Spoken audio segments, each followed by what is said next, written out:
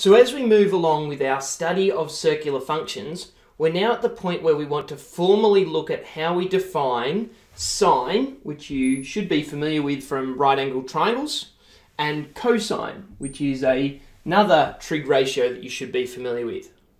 So you may have recognized this unit circle from the video we did right back at the start.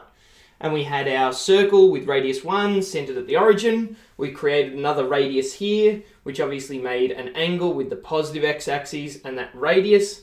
And that that point here where it intersected the unit circle was going to be called P and that the really important thing here was that we were interested in what the values of x and y were.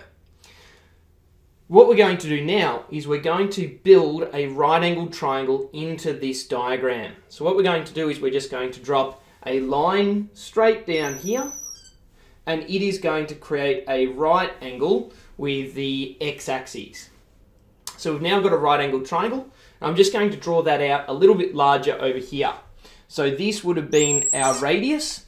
This would have been the line I just drew in, and this is part of that horizontal x-axis. And this is the right angle that was just drawn in here. So the last thing I might be able to draw in is that this angle here was theta. So because this has a radius of 1, that means that this was 1, and that this length, therefore, is 1. And what we're going to do now is we're just going to say that this length here is the x length. So from here to that new line that we've just drawn in, that's going to represent x because that's how far across we are at the point P. And that this length going from here to here is going to represent y because that's how far up we are at the point P.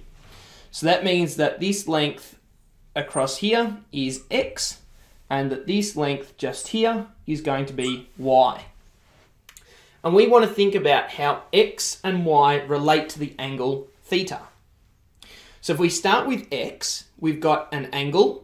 We've got what we'd consider the hypotenuse because it's a right angle triangle and that length of 1 there is opposite our right angle, so that's the hypotenuse. And this x length would therefore be the adjacent.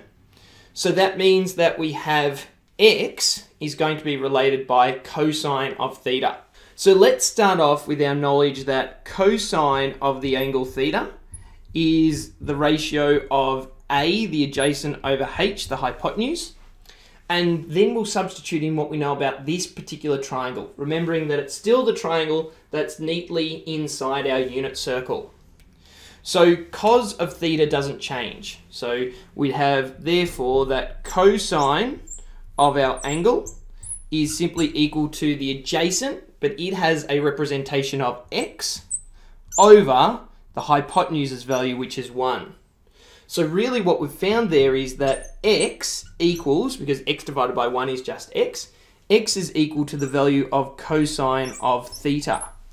So that's going to be really, really important in that we now can define cosine as a particular length or part of this construction of our unit circle. And as you may guess, we can now do a th similar thing for sine. So we know that sine of our angle is going to equal the opposite on the hypotenuse.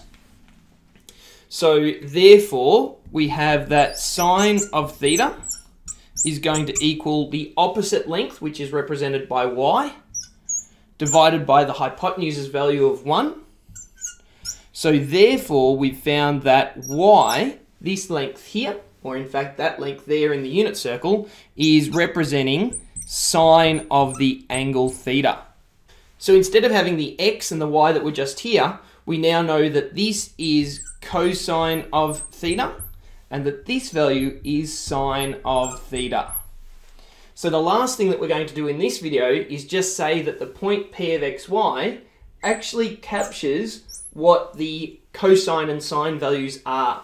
So x was cosine, so this is going to be cos of theta, comma, and the other part of this coordinate, the y value, is going to represent sine of theta. So now we've got a way of using our unit circle, once we've created an angle of theta in there, to find values of cosine of theta and sine of theta. Thus simply the coordinates where this line would intersect the unit circle. So we'll leave this video here. That's how we define sine and cosine. And we'll now move on to defining the tangent function, and then we'll continue on finding more and more about these things called circular functions. So once again, I hope that's helped, and stick around and stay tuned for future videos.